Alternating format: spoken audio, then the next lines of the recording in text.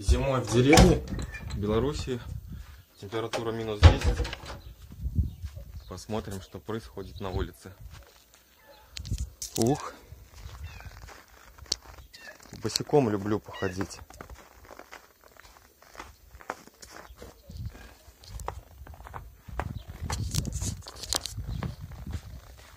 А в то время как в Тбилиси сейчас, в Грузии, плюс 10. И вот если бы мы сейчас там находились, то было бы там тепло, конечно. Вот на мне надета майка автостопщика. Это для того, чтобы хорошо было заметно меня на дороге. Вот так вот. Останавливаешь машину. И все. Заранее готовимся. Вот мы поедем. Опять же, Грузия, Турция. Будем много ездить автостопом. Здесь будем голосовать.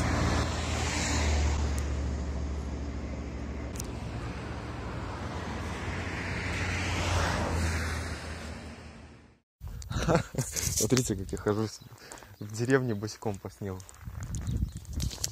Спортом заниматься тоже хорошо.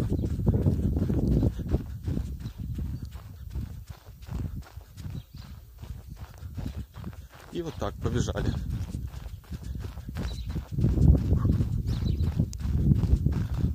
Привет. Как дела? Ой, слезы.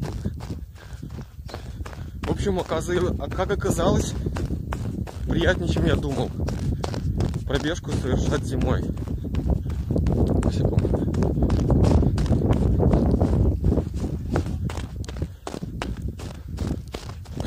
Так побегать можно.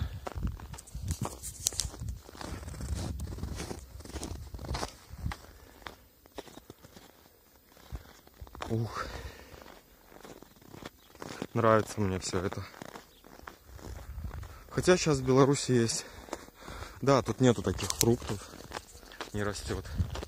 Как в Грузии. Но здесь есть свекла, морковка, капуста, яблоки, ну, в магазине.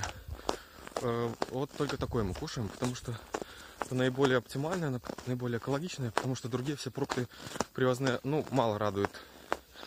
Если сравнить мандарины, те же, которые мы кушали в Грузии, приехали сюда, да?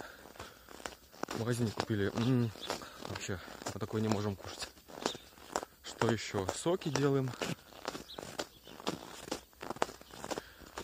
Семена льна молим в кофемолке. Получается мелкие такие смешиваем с водой, получается кашка.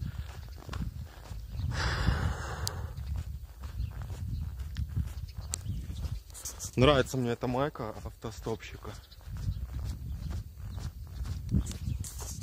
Минус 10. Деревня.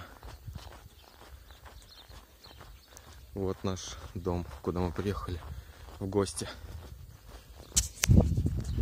Уха!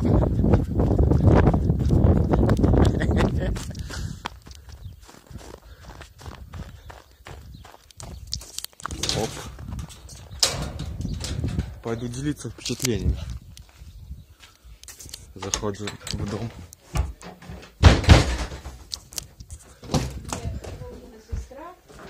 Знаешь, что я вам скажу, расскажу? Я вот так вот пробежался. Ты молодец, Вадим. Да.